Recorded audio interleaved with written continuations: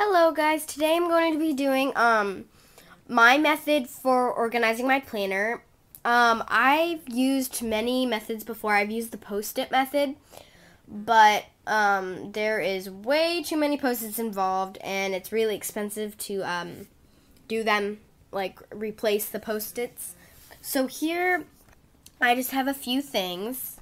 So for example, I have study for a history test. I don't know if you can see that um, Unit 8 study guide, do graphic organizer for letter, do homework for science, and reward is to film a YouTube video.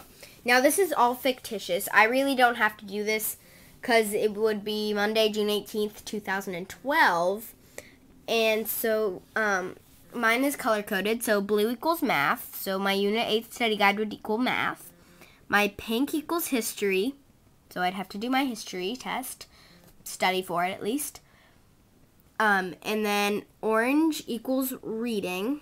So I'd have to do do graphic organizer for letter. And then green equals science. So I have to do homework for my science. And then yellow equals my reward. So my reward would be to film a YouTube video. So I did less on Tuesday. So I said read chapter 4 and 5 would be my reward if I did my math homework. Now I'll do another, I'll do an example for you guys. So let's say I um, have to um, do my science study guide.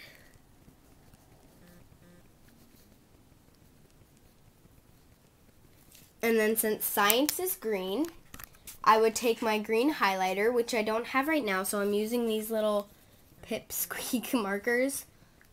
So I would take my marker and I don't know if you can see that, but I would highlight it.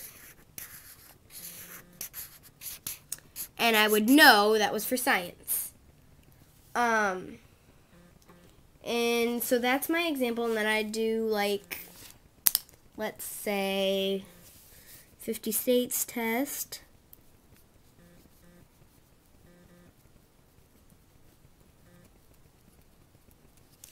That would be history.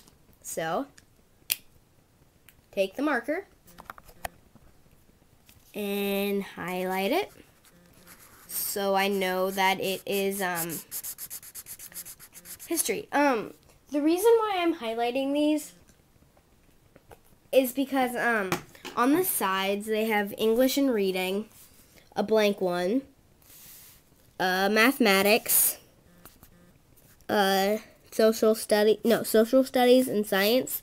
And I don't like writing in that order, so I just use highlighting. And next year I'm gonna buy a planner. Um, my school provides this one, so I won't have to have a school provided um, planner. And it's weird. And the boxes are so small and you only have so much room to write and I'm a big writer. so I hope you guys enjoyed that. And that is my way of organizing my planner. Bye.